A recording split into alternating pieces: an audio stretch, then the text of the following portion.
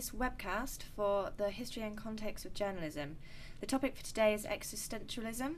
My name is Catherine Hayes, and I'm here with Chris Horrie, who's just given a talk on the subject, and some second year journalism students. It seemed like a, a massive topic, so if you were to sum it up, what would you say, Chris? It's a, it's a, it is a massive topic and therefore very difficult to sum up. But in practical terms, it's a renewed interest in the dilemmas of personal choice, of the moral consequences of the deci- of decisions that we make in life, um, both for our own moral good, if you like, for our own moral well-being, our own sense of ourselves, and for its implications on society. It's a doctrine essentially of very extreme personal uh, responsibility, and that comes, I think, from its intrinsic atheism. We've previously been discussing Nietzsche and his atheism, but in a world where there is no God, where there is no uh, pre existing moral system, um, a world that's eff- effectively pointless, we're left with this dilemma of what to make of that. Uh, and how to construct a morality really for ourselves with, with very few pointers. So it, it's rather a, a, troubling way of looking at the world. But I always think there's two sides to it. It's, it's, it's a frightening doctrine in many ways, the, the idea of existential angst, of constant worry about uh, of what we should be doing uh, with this brief span of life as they see it that we have, how not to waste it, how not to uh, cause uh, lots of problems for other people, but it's also a great liberation at the same time because there are no pre-existing moral standard. That's a proposition. There's no there's no particular thing you should be doing with your life really. Um, you it's a liberation uh, uh, to to make your own life, to create rules for yourself, and, and to try and live by the, those rules. Very liberating, I think to groups that we thought uh, traditionally were oppressed in society, particularly in a very stuffy world of 19th century you know, Victorian imperialist uh, European society.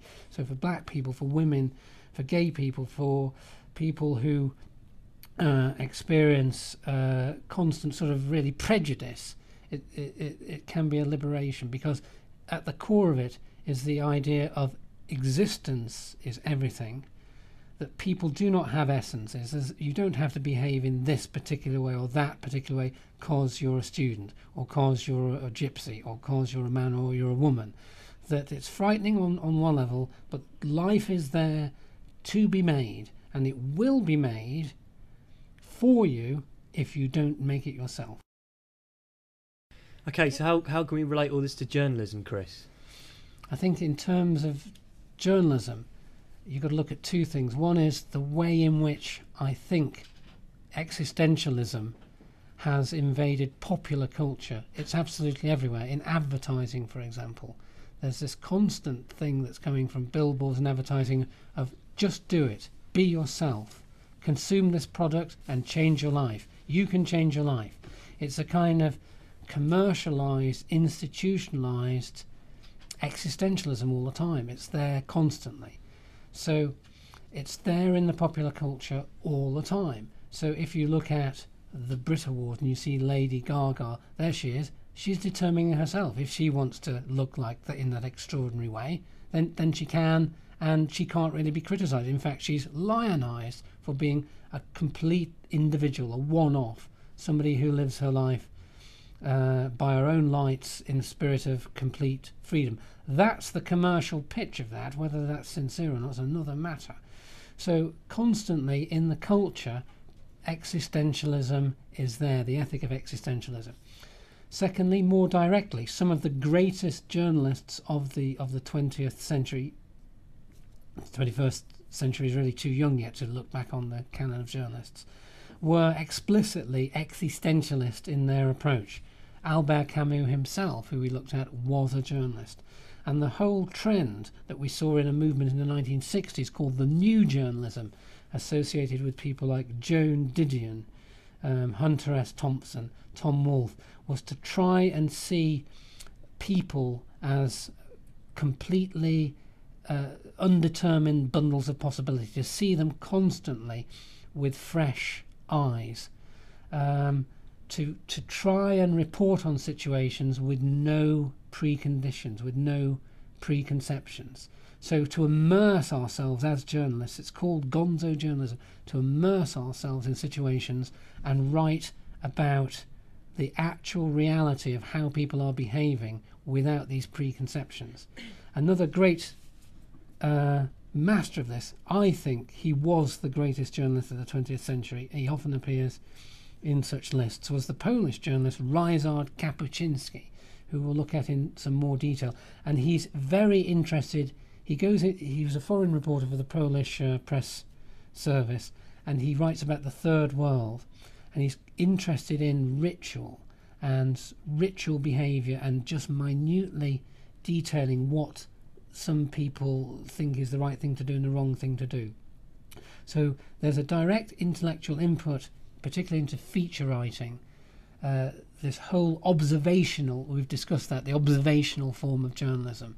Very cool, very just saying, well, this is what people do, and just presenting it to people, that, that, that's been massive. And secondly, it's everywhere in pop culture. Everywhere.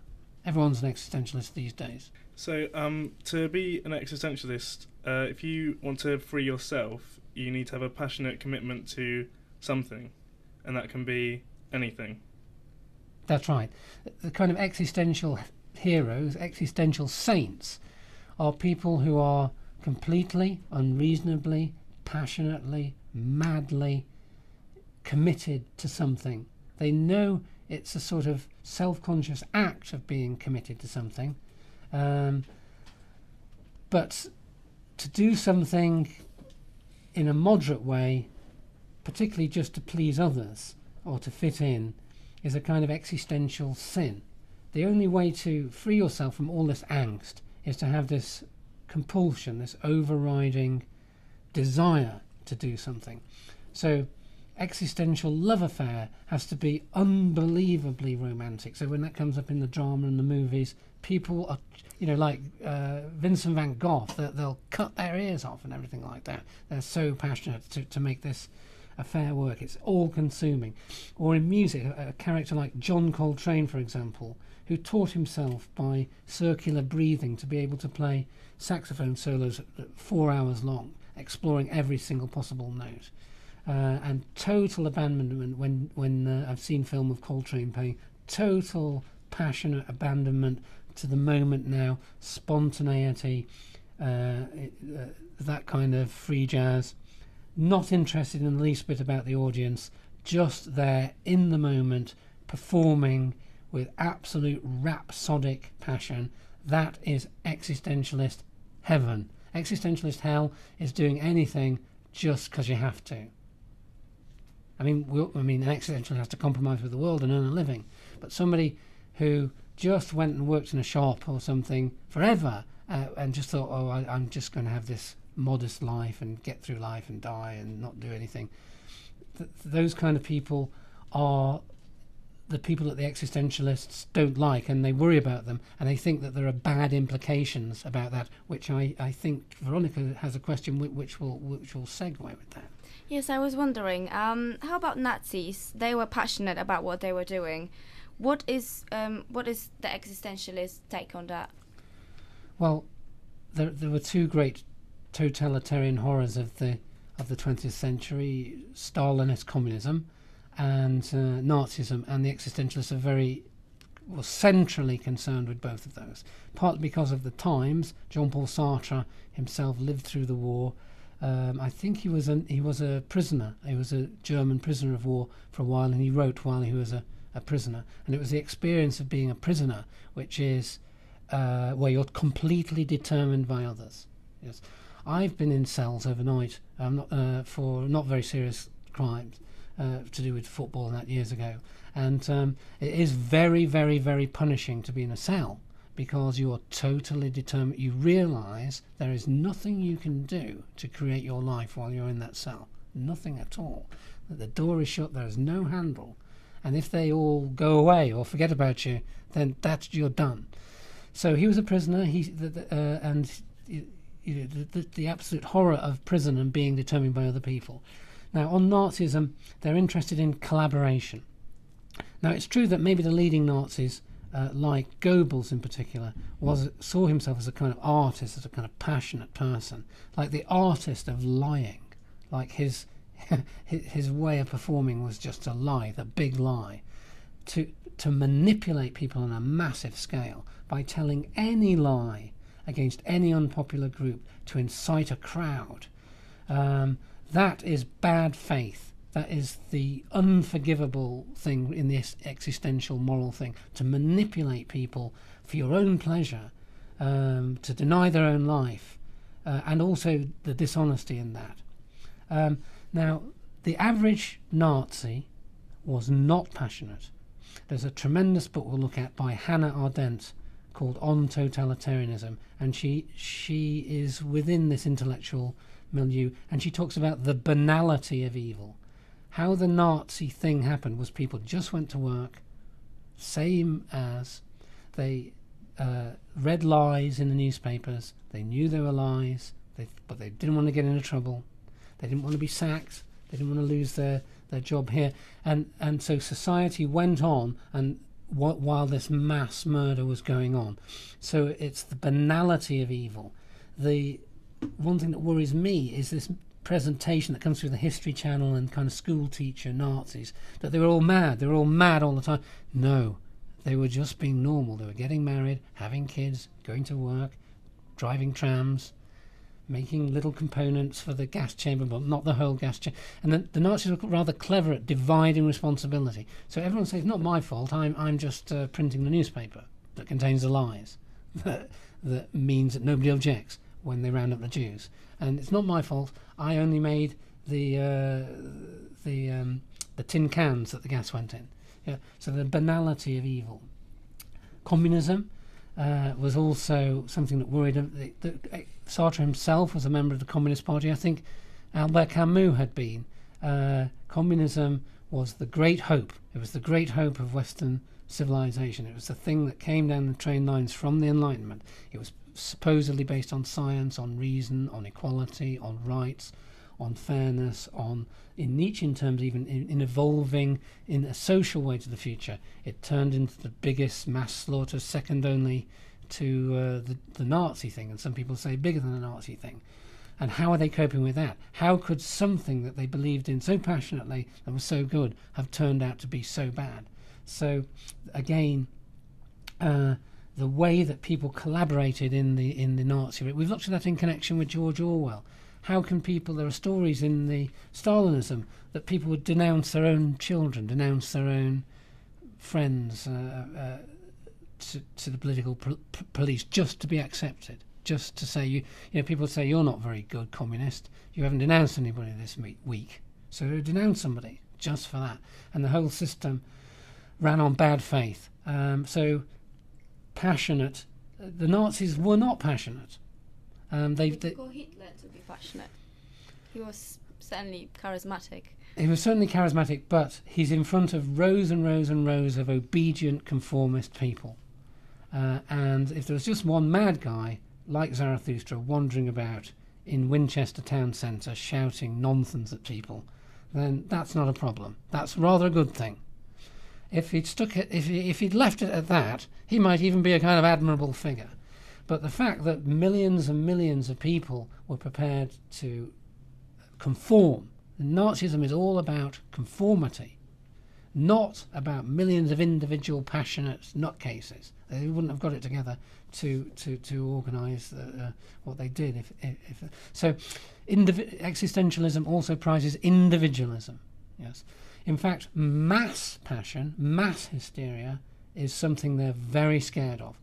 Now, I like football and I like th- the loss of the self that I experience in a football crowd. But that is bad faith. I enjoy it, but it's existential bad faith. I do do it um, because I am no longer being an individual. I'm being passionate, but in a crowd, and that's bad. But my excuse is th- these concrete bowls were, were built to do that. If you want to do that, just go in there. If you don't want to do it, leave it alone. We're not planning, we football maniacs, uh, to run the country or conquer China or anything like that. We just go in there and we do this rather disgraceful thing of um, bad faith, of hating people just for fun. as a kind of leisure activity. Um, at the start of the talk, you uh, mentioned that the existential outlook on life is pessimistic and bleak, but we're talking about concepts such as passion, um, potential, and liberty. So, could you explain that conflict of ideas? Yeah, uh, I think that there are two two sides to it. Um, if if I said it's all just pessimistic and bleak, then I think that that uh, was um, a mistake, or I didn't get my point across. Uh, once you realise that you are alone, really, in the ultimately existentialism says you are alone. Nobody is going to ultimately care about you. Nobody is going to solve your problems. Nobody. Don't wait around for somebody else to liberate you. Yes. Now that is a harsh and um, difficult thing to come to terms with. It's they have this idea of angst, which is a literal feeling of unease, a kind of sickness in the stomach when you contemplate the horribleness of that in a way. I think it's very much part of growing up because uh, your parents lie to you for good reasons, though, for good faith, you know, to protect you. They tell you, uh, uh, Father Christmas, and don't worry about this and that. Uh, part of growing up really is facing f- this existential problem that you don't have much time, that that people won't do your life for you. In fact, they may try and take over your life and make your life part of their life, and then you're going to have. You know what are you going to do with this, this time that you've got you've got in front of you? There are Christian existentialists such as Kierkegaard who address the same problem.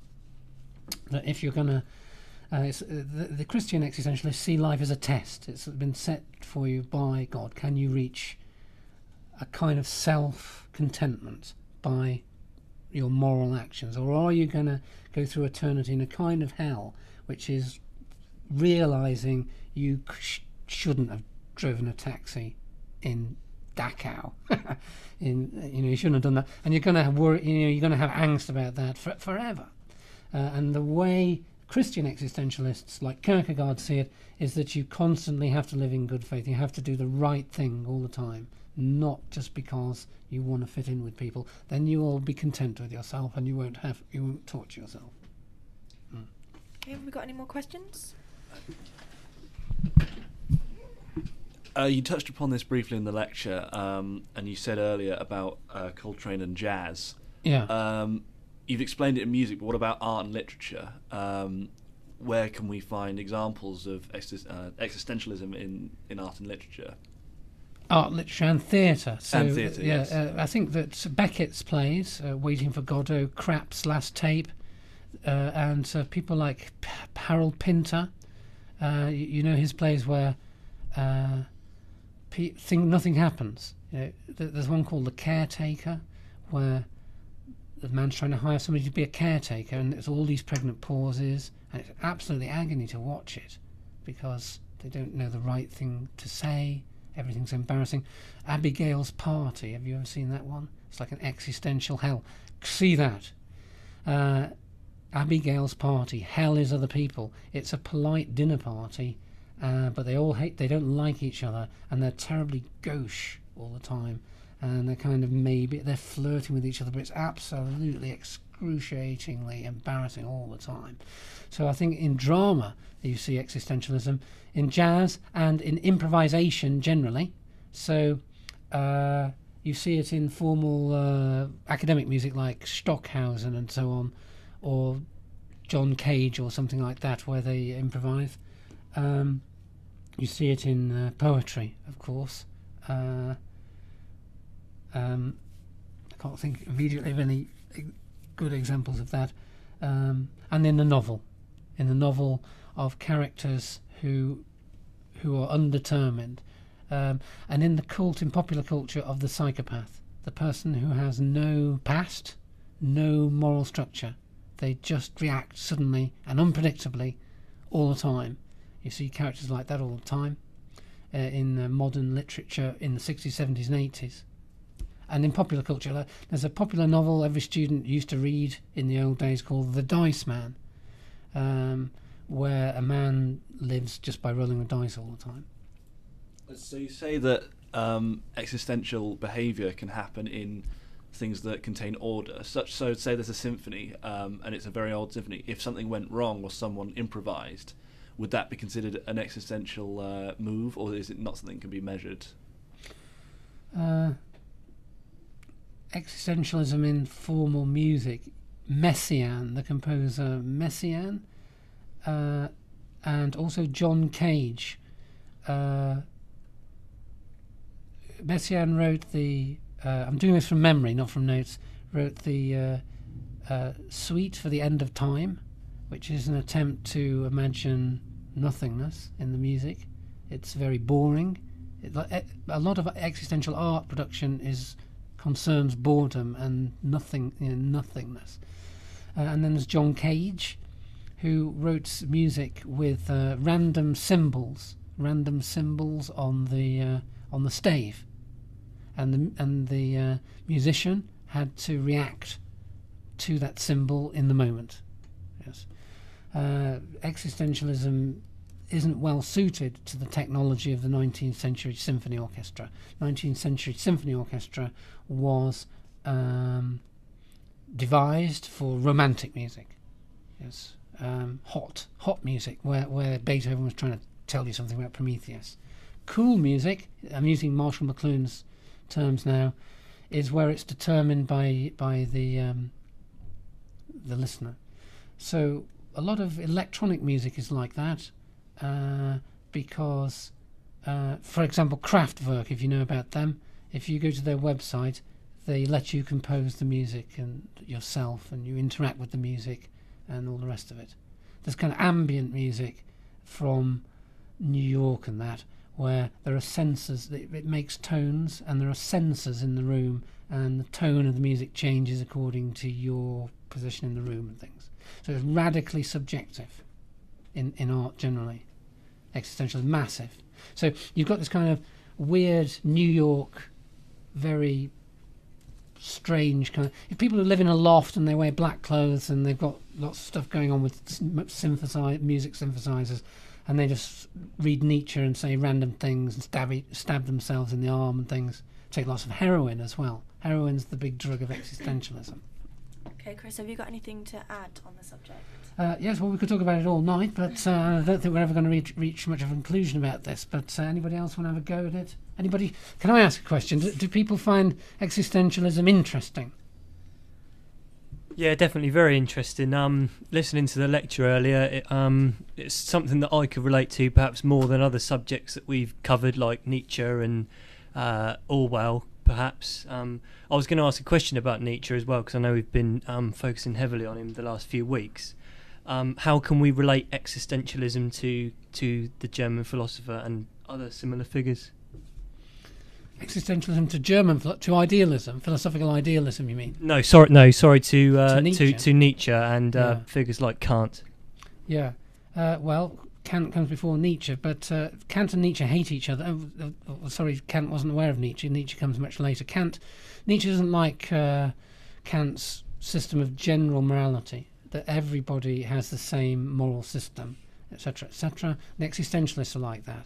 There's a lot of paranoia in existentialism. Solipsistic, meaning solipsism is a word from philosophy. It's the view that only I exist and everybody else is like a figment of my imagination. And sometimes existentialism, I think, slides towards solipsism, that hell is other people and other people don't really exist, and I can just reimagine these people as something else. Um, but uh, for the for Nietzsche and the existentialists, there are no general moral systems. You make your own moral system, and everybody has a relative system of morality. Existential justice, for example, if there was such a thing, if it, you know, a justice system was based upon it, would be very, very different. Pe- some people would be allowed to get away with m- literally with murder. Yes, in an existen- uh, if a justice system based on existential philosophy existed, you could claim, "Well, I stole all this stuff, but I really needed it." uh, for a good reason, and and you would get off. Now, sometimes I think people that you know, because existentialism has gone into the public, do think that. I think there is a conflict between our formal legal system and uh, and the popular culture, which is all of, is very influenced now by existentialism. There's a very interesting book called The Corruption of Character by Richard Sennett, which is about this, saying we've got this legal system that's based on old-fashioned 18th century concepts of rights and law and everything like that. But the population is actually rather existentialist. They'd like to go out and crucify the paedophiles, but let off people who do driving offences and things. So that's you know that's very this this growing subjectivism in the culture is having a corroding effect at least Richard Sennett is saying, on our formal institutions. It's certainly having a massive corroding effect on education, for example. Okay, I think that's all we've got time for today. Yes. So uh, thank you very much for that discussion. We always welcome your comments and contributions, which can be made on Winchester Journalism YouTube page or on our blogs or message board, which can be found at www.journalism.winchester.ac.uk or simply by typing Winchester Journalism into Google.